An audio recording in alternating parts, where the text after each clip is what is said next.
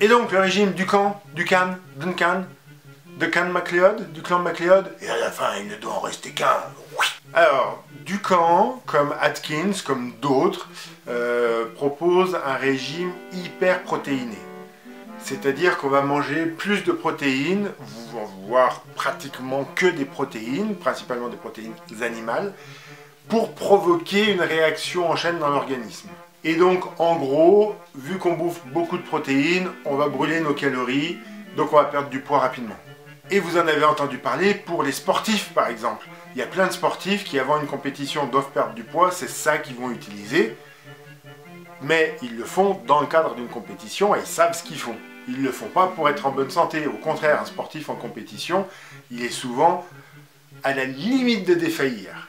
Parce qu'il sera plus léger et il est vraiment au summum de ce que ses muscles peuvent donner parce qu'il n'y a pas d'eau, il n'y a pas de gras, il n'y a pas de sucre dans son organisme, il a juste ce dont il a besoin pour booster, vraiment aller à fond. Vous savez déjà ce que je pense du principe du régime sur une durée courte.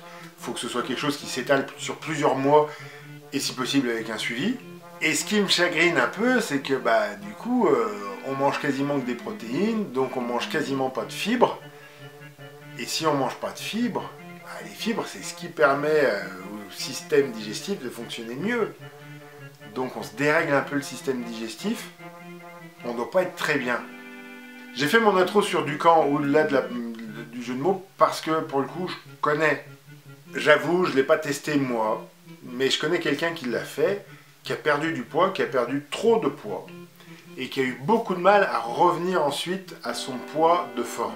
Donc, c'est un peu extrême. C'est si vous n'arrivez pas à perdre du poids autrement, ouais, partez là-dessus, vous allez perdre du poids rapidement, et c'est un peu plus long que deux semaines, ça va vous permettre de, commencer un peu à vous stabiliser, puis à apprendre, on va dire, les bases. Mais ça reste quand même extrême. T'as parlé de Ducamp, mais t'as pas parlé de Montignac, ni, euh, ni de Cohen.